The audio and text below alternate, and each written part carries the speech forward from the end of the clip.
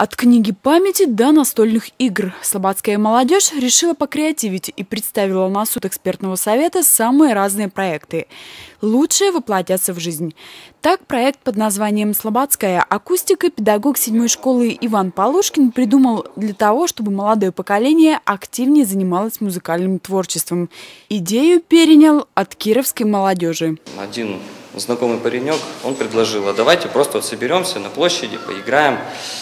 И вот тут как раз, можно сказать, такой подходящий момент выдался, и я предложил, вот, ребят, есть такая тема, сделать нормально, чтобы не так вот мы там, допустим, в плохую погоду мы бы собрались и давай на гитарах играть, а именно, чтобы все было культурно, чтобы мы собрались э, кругом людей, попели определенные песни, пообщались, познакомились, ну, там чай попили. Собираться поклонники музыки планируют в Доме детского творчества не реже одного раза в два месяца. Участникам представится возможность исполнять по три композиции собственного сочинения, а также русского и зарубежного авторов. Если мы подразумеваем гитару, лично у меня мнение складывается, это, конечно, всегда рок идет, да, но не только. Есть поп-рок, есть э, там ну, различные жанры. Что хотят они, то и могут исполнять. главное, чтобы песни были без брани. Всего на конкурс было представлено 12 идей по различным направлениям. Это молодежное самоуправление, патриотическое воспитание, развитие творческого потенциала слабожан, профилактика правонарушений и развитие волонтерской деятельности. Мы сможем расширить спектр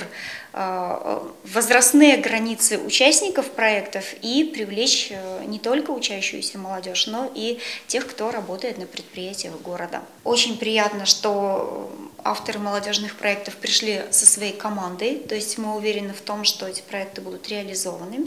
Финансирование будет осуществляться из э, бюджета города Слободского, но не в полном объеме, который был заявлен авторами проекта, а пропорционально этапам реализации проекта.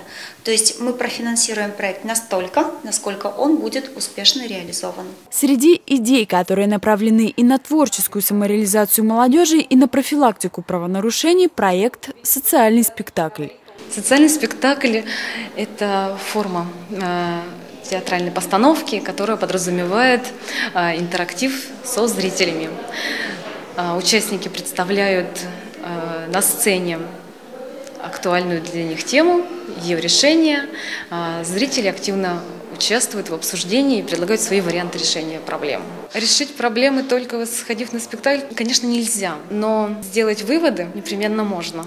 Старт проекта планируется уже в октябре. Апофеозом станет фестиваль социальных спектаклей в городе Слободском. Поражаюсь, насколько интересна молодежь в нашем городе, какие интересные идеи в их головах созревают. Очень важный и нужный, наверное, следовало бы поддержать вот книгу памяти про учителей. Обязательно нужно публиковать это, сделать. Ну как, там очень финансово сложно. Экспертный совет одобрил все 12 идей. Молодежные инициативы город поддерживает третий год подряд. Специалисты администрации подчеркивают, важно не навязывать молодежную политику, а слышать идеи самой молодежи и помогать их реализовывать.